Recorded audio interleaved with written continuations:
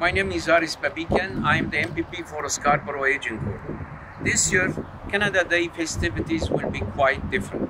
However, we can all take a moment to celebrate the place we call home. Canada Day is a celebration of all things Canadian, including our values of inclusivity, democracy, and diversity.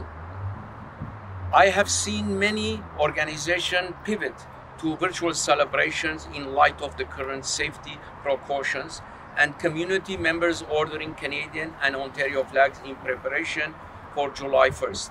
It is heartwarming to see the community come together to continue celebrating this great country during this pandemic.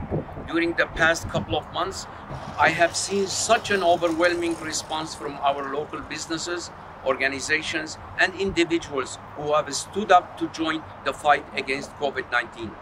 These values of generosity and goodwill are what makes us Canadian. It was this same generosity and goodwill that welcomed me to this country and province as a newcomer years ago.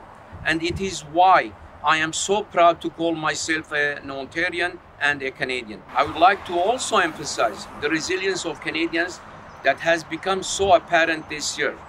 The collective efforts of our frontline healthcare workers, our businesses, and our society as a whole has successfully brought us together.